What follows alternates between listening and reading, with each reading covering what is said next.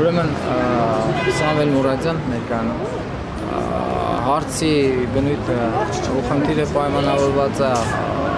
Արմավիր ջոյի կողմի ջուր չմատակարարելու հետևանքների համար հանձնաժողով կազմելու հետ, այսինքն վնասի հատուցման համար.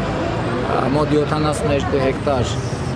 ռոռոկման տարածք կա, որի համար կնքել ենք պայմանագիր եւ վերջին 1 ամսվա ընթացքում իրանք անընդհատ ընդհատումներով են մատակարարել, ամսի 15-ից մինչեւ ամսի 24-ը ընդհանրապես չի մատակարարվել, արդյունքում մոտ ջուրը ուղղվել է դեպի հակվել ամբողջապես ուղղվել է դեպի հետ։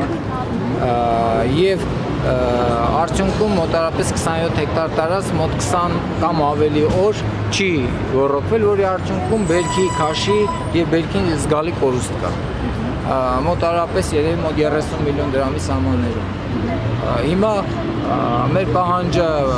պայմանավորված է անկախ հանձնաժողով կառավարության կողմից, գյուղ էկոնոմիկայի նախարարության կողմից կամ որևէ մեկ մասնագիտացված հանձնաժողով կազմելու հետ ջրար, այսինքն ջրային ռեսուրսների կոմիտեն առաջարկում է իրանց հանձնաժողովը, իրանց անձանցից բաղկացած, որի հետ մենք իհարկե համաձայն չենք, անի որ իրանք վեճի կողմ են։ Ես կարծում եմ, որ իրենք ունեն իրավունք այնտեղ ներկայացություն ունենալու, բայց հանձնաժողովը հիմնականում պետք է լինի անվախ։